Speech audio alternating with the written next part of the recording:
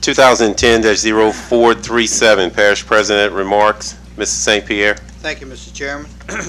The St. Charles Parish Public Works Department and the wastewater department has completed their consolidation into renovating the old office uh, that once housed the East Bank Library at 100 River Oaks Drive in Destrehan. The move uh, places three separate office building spaces into one, allowing for better access with ample parking in a permanent brick and mortar location. Departments are looking forward to being able to work more efficiently uh, because of the move. Uh, I'm very proud of this project. Uh, Mr. Campbell with uh, Campbell Architects uh, did a good job of designing this project.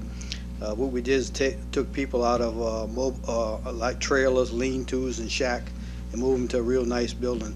This building would probably been a a storage area. What we did, thanks to your help, Councilman, we pumped five and a half million dollars into this building, and this building is probably worth about two and a half million dollars now, so it's a great access to the parish.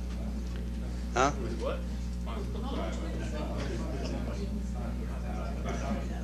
What? Oh, Oh, you mean renovating? Five hundred thousand. I'm sorry, five hundred thousand. I just wanted to see if the council was paying attention. Uh, I would like to thank everyone, thank everyone who came out to the annual senior citizens luncheon at the, uh, seniors had a great time at the Shriners. Uh, I'd like to thank, uh, special thanks to all the sponsors that made the event possible. Uh, They had a great time. Benny Grunch and a bunch was there, and uh, they really cut up and had a great time.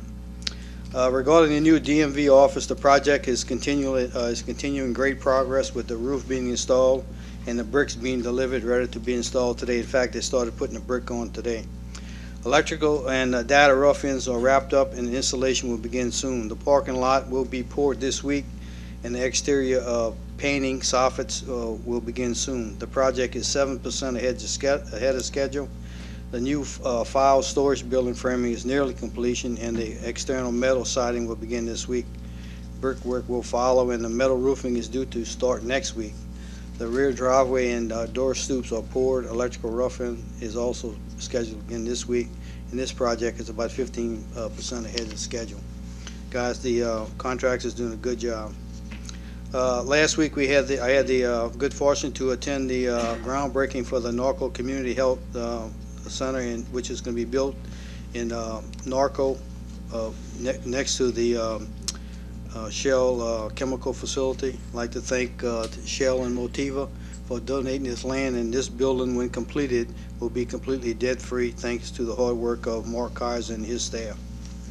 Uh, The New Orleans Hornets are hosting a series of St. Charles Parish Employees Appreciation Night through the 2010-2011 season. All St. Charles Parish employees, as well as their families and friends, have the opportunity to purchase tickets at a group price. The official St. Charles uh, Parish Night Out with the Hornets will be March the 12th, 2011. For more information, please con- contact Anitra Coleman at 78985-7835,000. I'd like to encourage everybody to try to make this, and uh, let's have a good showing for St. Charles Parish. Bill, there's some good news for you, that you've been waiting for for a long time. I'm pleased to inform you that the grant for $100,000 for Phase 3 of the Col- Killona Park has been awarded to the parish.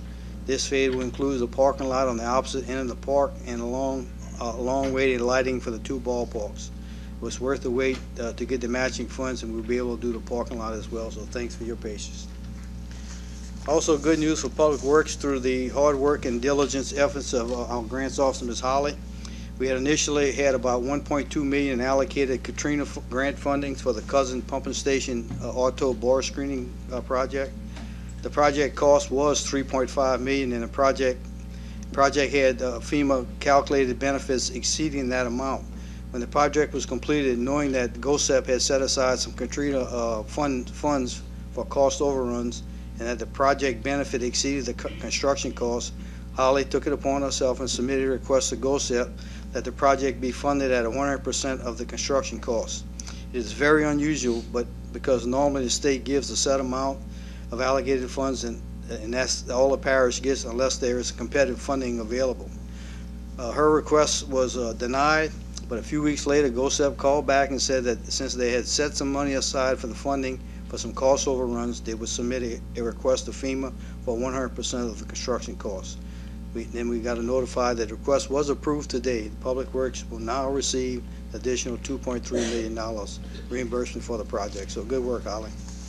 And last but not least, my staff uh, and I would like to wish everyone a very Merry Christmas and a very happy, healthy, and prosperous New Year. And that concludes my report, Mr. Chairman.